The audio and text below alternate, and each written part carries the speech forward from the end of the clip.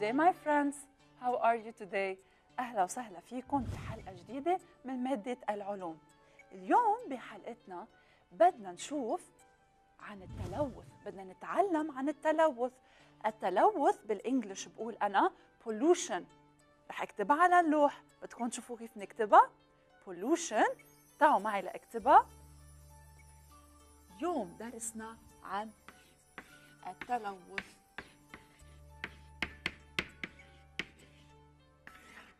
Pollution كيف نحن منشوف التلوث بحياتنا؟ فينا نشوف تلوث الهواء فينا نشوف تلوث الأرض وتلوث المياه. تعالوا نشوف هودي الصور يلي جبتهم. أنتم بتعرفوا إذا أنا وأصدقائي رحنا وعم ناكل بالطبيعة وتركنا كل الوسخ على الأرض. شو بعمل أنا؟ شو بشو بكون سببت؟ بتلوث الأرض. هودي اللي شايفينهم على ال screen كلهن من الوسخ أو من الأوساخ اللي نحن بنتركها إذا أنا تركت هودي الأوساخ محل ما أنا كنت عم باكل حد الشجر بالطبيعة هيدا كله شو بينتج عنه؟ تلوث الأرض بلوث الأرض وبتصير الطبيعة تتدمر أكتر وأكتر وهون عم بتشوفوا السيارات شو عم بيطلعوا؟ عم بيطلعوا دخنة هيدي الدخنة بتطلع مثل هون كمان عم تطلع الدخنة من المعامل وهيدي الدخنة شو بت... شو بتسبب؟ تلوث الهواء في تلوث الأرض في تلوث الهواء. هيدي الدخنة كلها فيها مواد سامة بتبقى بالجو وبنرجع نحن بنتنفسها بتأدي لأمراض. هيدا التلوث. في عندي كمان تلوث المياه. طلعوا. هودي الأوساخ يلي تركناهم على الشاطئ. أو تركون العالم يلي كانوا هونيك شو بيعملوا؟ تجي المياه وبتاخدهم بصير البحر كله ملوث. ونحن أخذنا قبل عن ال water cycle إنه نحن بيرجع المياه من البحر بتطلع على الجو بترجع بتنزل كأمطار. وإذا المياه يلي بالبحر كانت ملوثة بترجع الأمطار اللي عم تنزل علينا وعم توصل على الأرض وعم تنزل بال plants كلها بتصير ملوثة وهيدا كله له pollution وكله بيأثر على صحتنا وبيأثر على الطبيعة. فإذا أصدقائي بدي إياكم تحضروا حالكم منيح. اليوم بدنا نحكي عن ال pollution التلوث. إلنا نحن بنشوفه بالهواء تلوث الهواء تلوث الأرض وتلوث المياه. وبدي أفكر أنا وياكم بطريقة وبحل للتلوث. إذا أنا طلعت زبالة من عنا بالبيت وحطيتهم برا وأخذوهم وحطوهم بالطبيعة أو كبوهم بمكب النفايات وين عم بيروحوا هودا الزبالة؟ عم بيأدوا لتلوث طيب شو الحل؟ بدي أفكر أنا وياكم بالحل اليوم وبدي فرجيكم بعض الحلول يلي توصلنا لها برجع لكم بعد فاصل صغير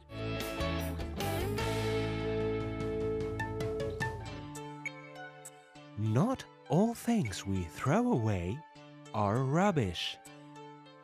A lot of them can be recycled. They can be changed and used again. We can treat used glass, metal, plastic, and paper to make new things like a table or a chair.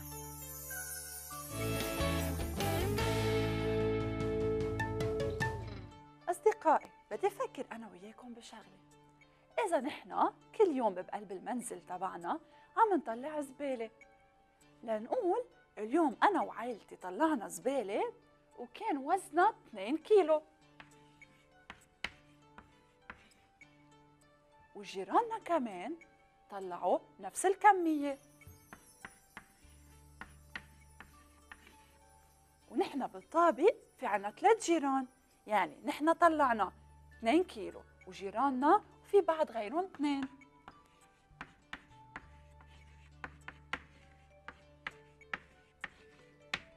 قد إيه بيكون الطابق عنا طلع زبالة؟ تعالوا نحسبهم.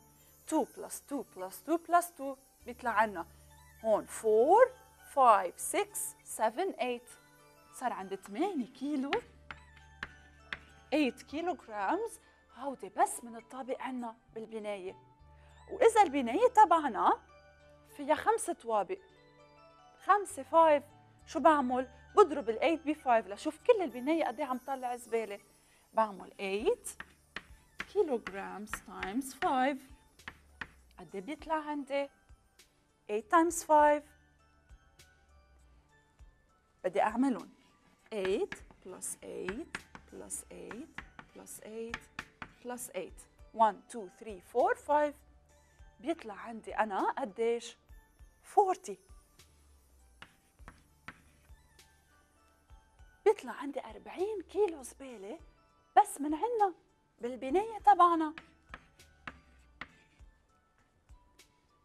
طيب وإذا الحي عنا فيه كم بناية؟ إذا فيه خمس بنايات بس. الحي بس فيه خمسة يعني صغير. قد إيه بيطلع عنا من الحي زبالة كل يوم؟ تعالوا نحسبها كمان. 40 kilograms times. قلنا نحن إذا عندي أنا خمس بنايات 5 times 0 0 5 times 4 20 طلعوا أصدقائي. طلع عندي 200 كيلو زبالة بنهار واحد من الحي تبعنا عم تتخيلوا قد إيه كمية الزبالة يلي عم تطلع كل يوم مش بس من حينا في كتير أحياء وببلد لبنان في كتير مناطق كتير منطلع زبالة نحن وإذا ما اهتمينا بهيدي الزبالة وين بدنا نحطها؟ فينا نحطها كلها بمكب النفايات؟ فينا نحطها ومن بعدها شو بنعمل فيها؟ إذا تركناها هونيك وصارت تزيد وتزيد وين بتروح؟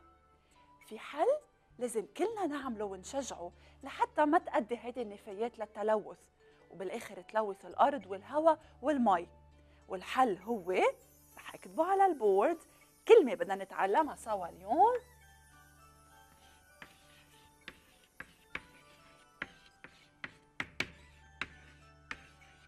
recycling recycling يعني إعادة التدوير. أنا باخد الزبالة باخد النفايات بنظفها بقسمها وبرجع بصنع منها أشياء جديدة. وبهالطريقة بخفف من النفايات وبخفف من التلوث. تعالوا شوفوا عندي على ال screen رح فرجيكم بعض الصور كيف بتصير إعادة التدوير. هون عندي الزبالة كلهم مع بعض. هيك بنكبهم سوا. وببلشوا يقسمون. بيشيلوا الكرتون لحالهم. طلعوا هون شلنا الكانز لحالهم. وهودي البلاستيك لحالهم. منقسمهم بيرجع من بعدها بصير في تنظيف لإلهم بيتنظفوا. وبيرجع آخر مرحلة بيرجعوا بصير في لهم تصنيع من أول وجديد. هيدا ال recycling. هلأ أنا وياكم بتعرفوا شو رح نعمل؟ بدي أعمل أنا وياكم recycling على طريقتنا الخاصة. إذا أنا عندي خيط بدي كبه وإذا أنا عندي كمان magazine أو ورق ورق مجلات. بدل ما كبهم وزيد النفايات شوفوا شو رح أعمل. بدي جرب أنا وياكم نرجع نستخدمهم مرة تانية ونعمل منهم عقد نكلس. هيدا عندي الخيط. بدل ما كبه رح استخدمه لحتى أعمل عقد. وعندي هون وراق هودا الوراق بس نخلص نحن منهم. لنقول نحن استخدمنا هيدي الورقة وخلصنا منها. بدل ما كبها اقسمها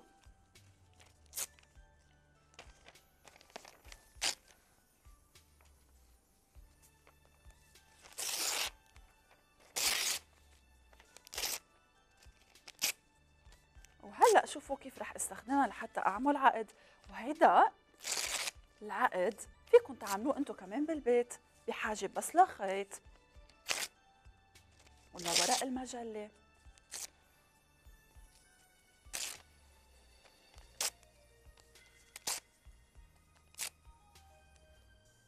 بلش بكل شقفة من المجلة لزقها بهالطريقة.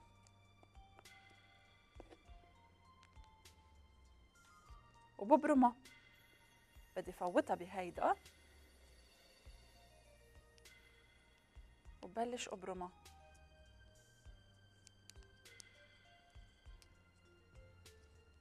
ببرمها بهالطريقة. وبالآخر أنا حطيت تلزيق على آخرها على الطرف تبعها. شوفوا شو صار عندي. هاي أول وحدة. في أعمل وحدة تانية كمان بنفس الطريقة. بحط على الطرف تبعها جلو وكمان ببلش ابرمها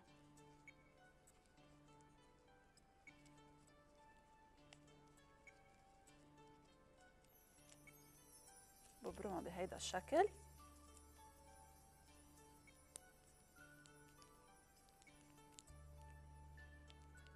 بتلزق بالآخر لأنه حطيت جلو شفتوا شو صار عندي؟ وهلأ بدي كملها لحتى في أعمل 5 أو 6 بصير عندي عقد بحطه برقبتي. والمميز بهيدا العقد إنه شو بيعمل؟ بخفف من النفايات وبيرمز للريسايكلينج يلي عم نتعلم عنه اليوم. حط عليها.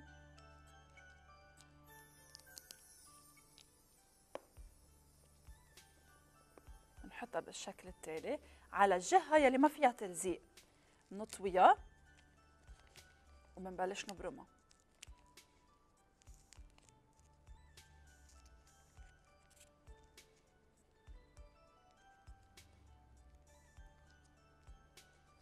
وهيدي صارت عندي ثالث وحدة.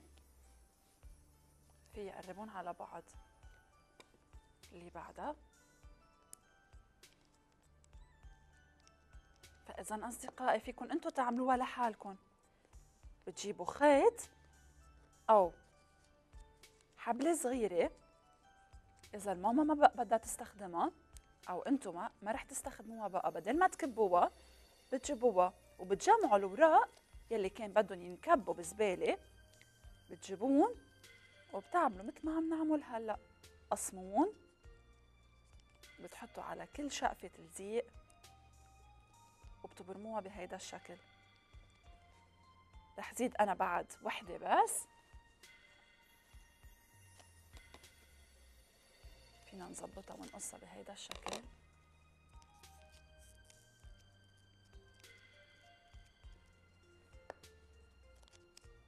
بحطها من الجهة مثل ما قلت لكم يلي ما فيها جلو بطويها وبلش أبرمها.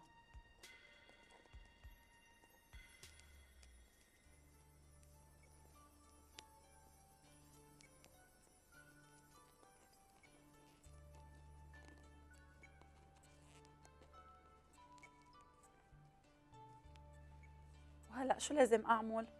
صار عندي العقد تبعي في اقربه على النص فيكم تنقوا الكولرز يلي بدكم ياهن حسب الصور يلي على المجلة. فينا نربطها بهذا الشكل من فوق.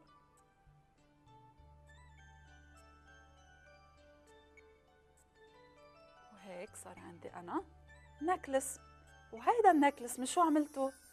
من اشياء أنا ما كنت بحاجة إلها وكنت رح كبها. بس رجعت استخدمتها من أول وجديد وعملت منها شيء فيي استخدمه مثل هيدا العقد المهضوم. في اعطي منه لرفقاتي. فاذا أصدقائي هيك بتصير عملية إعادة التدوير. بس بالأول شو بنعمل بدنا نقسم الزبالة منقسم الأوراق لحال منقسم الجلاس لحال الزجاج منقسم كل شيء لحاله. من بعدها هودي المواد بيتنظفوا بيرجعوا بيتكسروا وبيتظبطوا وبصير إعادة تصنيع لهم من أول وجديد بيصنعوا منهم أشياء جديدة. اليوم من بعد ما نتوقف لفاصل صغير بدي أنا وياكم نتعلم كيف فينا نحن نفصل الزبالة أو نقسمها. نحن الزبالة بنحطهم كلهم بكيس واحد بس فينا نقسمهم نحط الاوراق لحال ال glass لحال ال metals لحال. هلا رح فرجيكم كيف وهيدي الطريقة بتساعدنا وبتساعد الماما والبابا حتى نساهم بال recycling ونساعد الأشخاص اللي بيعملوا recycling وكمان بنكون عم نخفف من التلوث pollution. خليكم معي برجع لكم بعد ال break.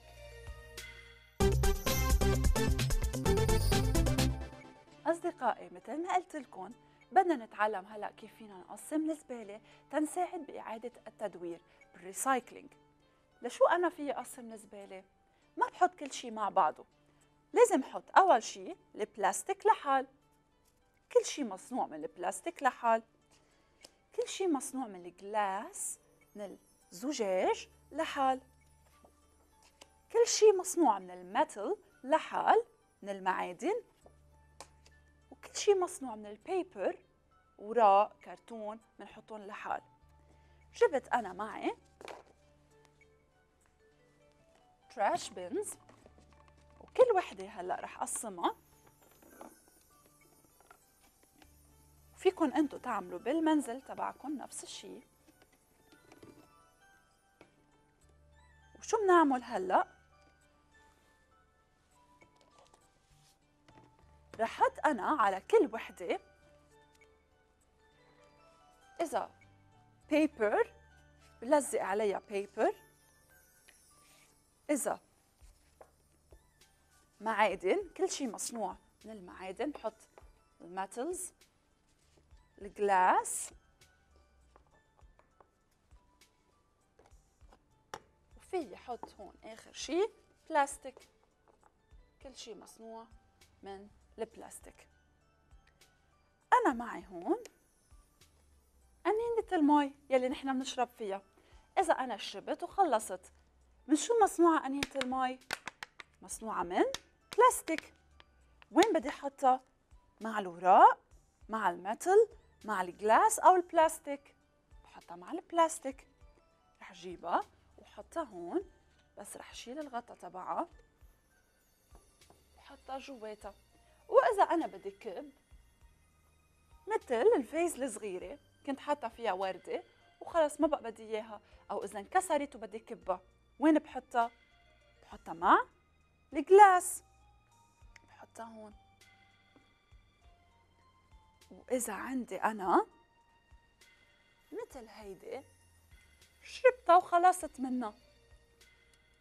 it's metal وين بحطها؟ بحطها مع ال metals. وآخر شيء إذا عندي papers مثل هودي اللي أنا استخدمتهم قبل شوي. هيدي الورقة شلتها أنا من مجلة. إذا خلصت منها وبدي كبها ما بحط كل شيء مع بعض بحطها مع ال paper فاذا قسمناهم لأربعة أقسام. عندي ال paper عندي ال metal ال glass والبلاستيك وفي هلأ لزق عليهم أنا.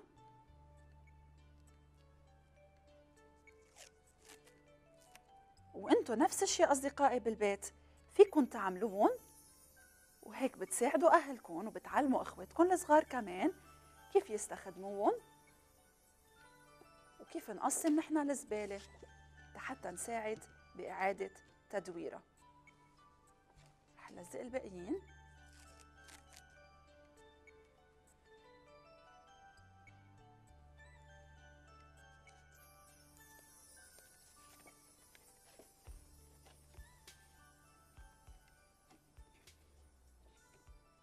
فإذا أصدقائي شو يعني ماتل؟ كل شيء مصنوع من المعادن الجلاس هو كل شيء مصنوع من الزجاج وعندي paper طبعا بتعرفوا شو يعني paper كل شيء مصنوع من الورق وآخر شيء بلاستيك كل شيء مصنوع من البلاستيك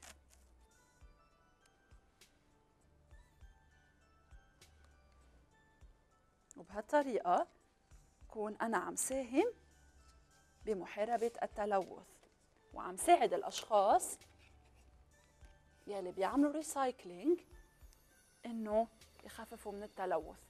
في محلات خصوصي بياخذوا الزبالة وخصوصا إذا نحن قسمناها فينا نسأل بالحي عنا عن مكان بياخذ هودي الزبالة بيكونوا مقسمين وهو بيرجع بيبعتهم على مكان آخر بيعملوا لهم إعادة تدوير recycling فإذا أصدقائي لازم كلنا نحارب التلوث وأفضل طريقة لنحارب التلوث مثل ما شفنا بالصور لحتى ما يتلوث الهواء يلي بنتنفسه والأرض يلي بتعطينا plants وأكل. وتما يتلوث تتلوث المياه يلي بنشربها لازم نحن نعمل recycling ونحارب pollution وكمان أصلا فينا نقسم الزبالة فور بنقولهم آخر مرة مع بعض paper metal glass and plastic. بدي اياكم كلكم تعملوا مثل ما عملنا هلأ بالبيت عندكم حتى تساعدوا أهاليكم ولحتى نخفف من الزبالة. أنا هلأ بدي ودعكم لأنه خلص وقتنا. برجع بشوفكم بالحلقة المقبلة. ما تنسوا تتابعونا على صفحتنا على الفيسبوك. www.facebook.com مدرستي سات 7 كيدز بشوفكم بالحلقة المقبلة. باي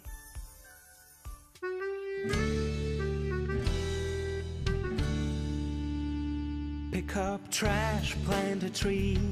We should protect our earth, you and me. Let us pick up trash from the streets. Let us pick it up from the seas. Let's take care of Earth by planting a tree. Let us help the animals stay alive and free. Pick up trash, plant a tree. We should protect our Earth, you and me. Our forests are beautiful to see. Let us stop cutting the trees to keep them beautiful as they can be.